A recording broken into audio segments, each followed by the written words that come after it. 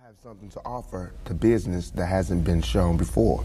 You know, I have a whole energy that represents not just black youth, but white youth, Mexican youth, youth. You know what I'm saying? That that um that change right before you go from being 18 and unresponsible to when you go to being like 21, 22, and the whole world's on your shoulders.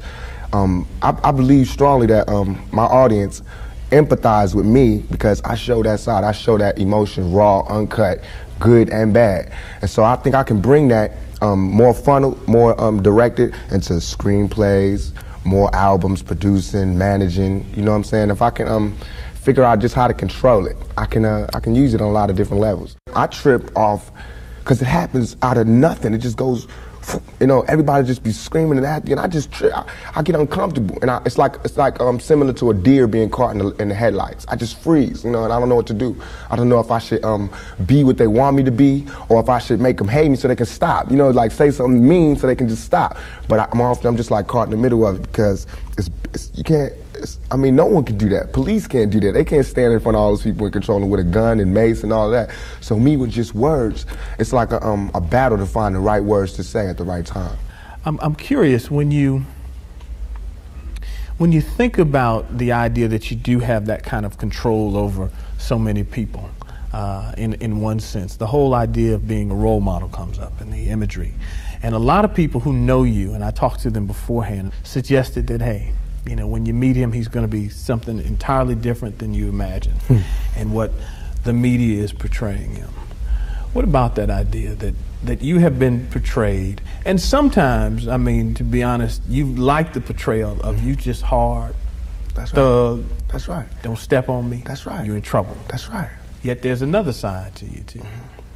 What about that idea that you've got to be able to figure out where you're going? Um, to me, it's like um, it is my sensitive side that um, that likes to blow up the hard side because if my if I can if my image or my reputation can stop a confrontation before it happens, I'm I'm, I'm fine. You know what I'm saying? I know how it is day to day. It's a constant um, man ego check going on in this street, in this world. So part of that is just like you know that's my that's my my resume. But as far as the media, they look at it something different. They don't care about my resume. They don't care about me not getting in trouble. It's just another story, you know, and it's, it's a real story. They don't have to pay for it, and they're going to milk it for all it's worth.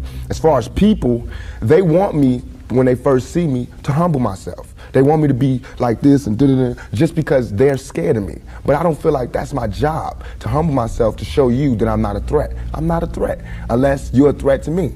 You know what I'm saying? So when people say, when you meet Pac, he's different than he is because when somebody one on one, anybody one on one, I believe honestly that I can talk. I believe that I have the ability to reason. I have logic. I have compassion. I have understanding. If we talk, there's no problems. You know what I'm saying? But that's not what happens. People use what they heard in the media, and that's how they come at me. And then, you know, we got a clash. One of the things that you read in the media is that you're angry, that you personify your generation, that you just got some angry folks out there, and you're one of them. I'll put it to you. Are you angry? Are you angry with what you see society is about? Yeah. I'm I'm I'm extremely angry, confused. You know, um, a lot of the times that I sat up in court, I couldn't defend myself. You know what I'm saying? And it was it wasn't like the things they were saying about me were beyond my comprehension, or um, the things that I could say weren't going to help my case. But because I mean, I was it's like being exiled, you know, from from society, and that's how I feel. And this whole um, the anger comes from I'm tired of waiting for my past to get into society.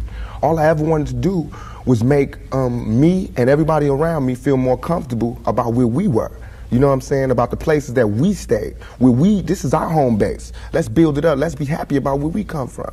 You know what I'm saying? Instead of trying to assimilate and um, get a pass key to where they at. You know what I'm saying? Not to say that everything needs to be separate, but we gotta find pride in ourselves. You know what I'm saying? And, and, and once you get the pride, like damn near two seconds after the pride comes anger from being held like that for so long and to be made to go through those changes, you get mad. You know what I'm saying? As soon as, I believe, as soon as any black man receives his first three checks, he starts getting mad.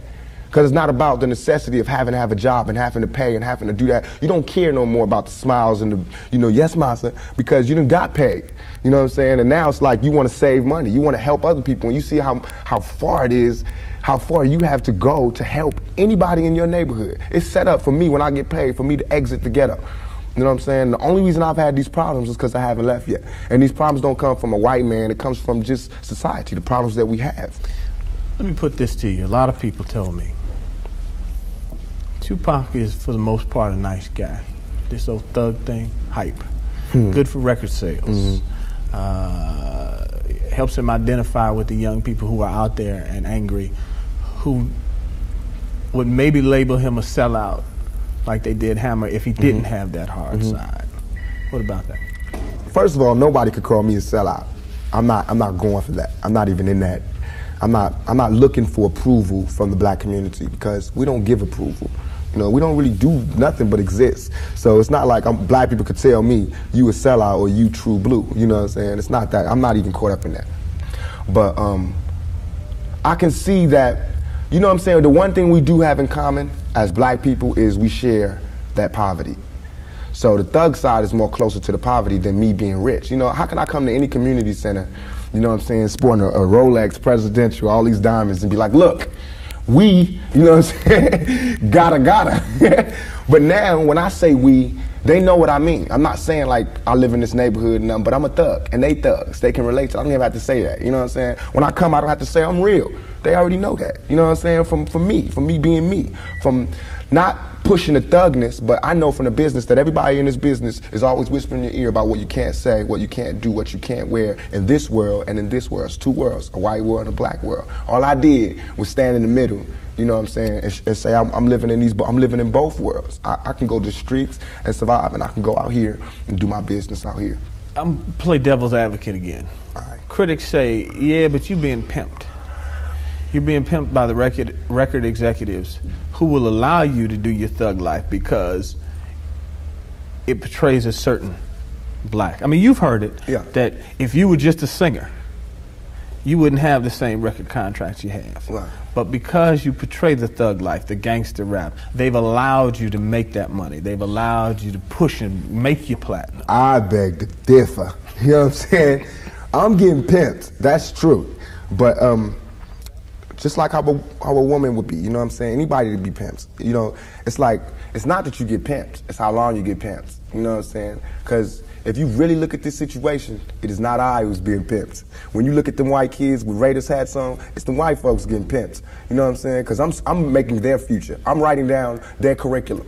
Right now, what I write in my album today, when it comes out in two months, that's what white kids is doing. So who really is getting pimped? I'll be, I'll be, I'll, what I'm writing in my raps is what them white kids is gonna be saying to their mamas and daddies when they come home. Who is getting pimped?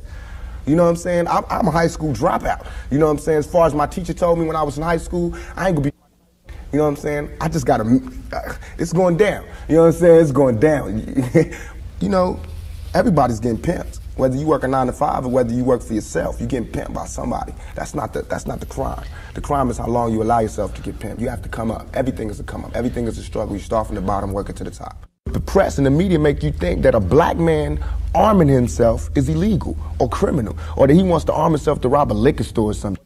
You know what I'm saying? That is for me to defend myself, and it should always be. It's just about surviving, you know, and we have to be honest about the tools that we use to survive. And why is a black life um, any any more recoupable than a white life? You know what I'm saying? We know that they don't put the same security in the ghetto that they do in the whites in the, in, in the white neighborhoods. So therefore, for me to be out here saying don't, you know, put your guns down and no violence. That's hypocritical. And if I didn't talk about the violence, everybody would act like the violence wasn't there. We, as rappers, bought that violence. We, we bought the, the, violence that we seen on the street. We put in our records, put in our records for years. And after three, four years, people finally starting to see it because all the statistics that's going on in the streets. If we stop talking about it, then they wouldn't take statistics. And when they stop taking statistics, then we'd be killing each other in the street, and these white people wouldn't care no more. Only people they, only reason they care is because you know there's been some strays, and we done slipped over in the white neighborhoods, and there's kids in Iowa that want to be like us.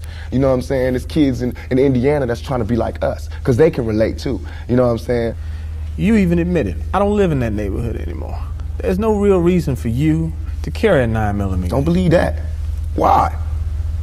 In, in two years, I've had a gun pulled on me by my limo driver, by police, by everybody. You know what I'm saying? And I better be. I better be. You know what I'm saying? I've been attacked. You ain't read the papers about these skinheads trying to blow up black churches. Why? They see me as the enemy just like y'all do. You know what I'm saying? They can come to my house and sit outside my house just like anybody else can. A skinhead. And once my life is gone, it's gone. Can't nobody give it back to me. Not the judge, not the president, not the governor, not Calvin Butts, not Jesse Jackson. They can't do nothing but come to my funeral and talk pretty about how black people suffer. You understand? And as far as Jesse Jackson, my first acting job was at the Apollo Theater when Jesse Jackson was running for president in 1984. It hurts me for him to say anything negative about any rapper because we supported him. He should support us. You know what I'm saying? As far as his image, you know what I'm saying? What was he? What was he doing? You know, he should be the last person talking about gun violence when he sat right there while Martin Luther King caught one in the neck. You know what I'm saying? Things ain't really changed that much. I swear to God, nothing I ever say is meant to be um, something where innocent people get hurt. Nothing I ever say is meant to be like a end all, let's go do it right now. Nothing. Everything I ever say and if, if, if any, this is so we can set it clear. Anything I ever say as it pertains to, um, to, to my peers and, and, and um, being strapped is only in self-defense. You know what I'm saying? Because my, right now where I'm at, the world is harsh. And I just don't got no beautiful stories. You know what I'm saying? I'm gonna just be getting them ready. Cause that's why I think I messed up. If somebody would have grabbed me, pulled me to the side and been like, look, Tupac, as soon as you step out here, they're gonna be at you. If somebody would have explained it to me, I wouldn't have took the same mistakes. But I made those mistakes. And that was my job to stop somebody else from making those same mistakes. To lay it out, to lay out the real map on the world and how it is. Everything I'm saying is a warning, is, is, is, is a plea for help. If everybody is so goddamn worried about me, why ain't nobody came to help me? You know what I'm saying? I never wanted to be no star. This ain't my job. I don't care if everybody don't cheer for me. You know what I'm saying? If you're not cheering for me for what I'm doing, don't cheer for me. Don't cheer because you think I'm cute. You know what I'm saying? Screw that. Cheer for me for what I'm doing, for what I stand for. And when I go to jail, you should cheer louder. You know what I'm saying? Because I'm, I'm standing up for what I do. I'm not robbing nobody, not stealing from nobody. I never took nothing. Everything I do, I do to represent my people. I do because I think this is what they want me to do. This is all I want to say. For all the people that doubt me, I had no record all my life. Okay? No record, no police record until I made a record. As my video was debuting on MTV, I was behind bars getting beat up by the police department. I got a $10 million lawsuit. They, they said they would settle with me and everything. You know what I'm saying? But nobody cared about that. That wasn't blew up all in the news. In they Oakland. didn't see me. They did not see me on TV with my eye busted, my head busted. There's pictures of those. In you Oakland don't you're talking yes, about. in Oakland. You don't see them pictures. You see pictures of Tupac coming out of jail in cuffs. You don't see pictures of the police standing over me beating my brains in. You don't see that. But I see that. That's what I see. You know what I'm saying? So it's all real. And, and I, I feel like just like a woman that's raped, any woman that's raped would never, ever allow herself to be raped again. Am I correct? Any woman that's violated would never allow herself to be violated again. Same thing. You know there are going to be people who sit here and say, how can you say that when you're faced with that charge? That's In how New I can say it. We got people in my own community that will get me. Why? Because I got it. Now, this girl, who I can't say her name, but if I was to say her name, a thousand all over the world would go, I put this on everything I love, on everything I love. When I was in Atlanta, I was pulled over the gas station. Some dudes from New York pulled over next to me and told me the girl's name. I said, they said, I know the girl that did it. They told me her name and where she's from, say she's scandalous. I can't go on TV talking about this girl, because that's what they want me to do. They want me to get on TV and talk about my black sister is a hoe and she's a B-I-T-C-H and she ain't she a money grubber. I ain't fit to say that. I don't have to do that to show that I'm innocent. You know what I'm saying? I'm not guilty. People should look me in my eyes. They should look me in my eyes. And anybody that thinks I committed that rape should go get Brenda's Got a Baby and keep your head up and listen to him thoroughly. It was hard to imagine that It you would be. do that. It shouldn't be nothing for. It should not even be to me. I have no um, patience for anybody that doubts me. None at all. It's too hard out here. You know what I'm saying? If my people don't stand up for me, who is? I understand these white folks looking at me like that because they don't know me. They didn't hear keep your head up. That ain't no fluke. You know, keep your head up ain't no goddamn uh, come up. I didn't do that for to be smiling in my face to say, oh, he's cool. I did that from my heart. So that they do try to put a rape charge on me, my sisters could say he ain't about that. Now, if my sisters can't say that, you won't hear another keep your head up out my mouth. You understand me? Because it's a struggle on young black males today. what would a Vietnam vet be like without a sergeant, without any backup, without any other soldiers, nobody but a Vietnam vet in Vietnam? When he came home, how would he be? And that's me. I had to go through all that street war, everything, the same drugs that everybody else get turned out on. You know, where I would have been stopped short, I made it past. And here's where I am. But because I made it past, I missed some lessons. You know what I'm saying? And you can see the lessons that I missed when you talk to me. You can see where, where I haven't had a father when you talk to me. You know what I'm saying? You can see where I spent a lot of my time in the streets when you talk to me. Because the words that I say are not words that come from a mother's mouth or a father's mouth. It's words that comes from a pimp's mouth or a prostitute or a hustler or a drug dealer.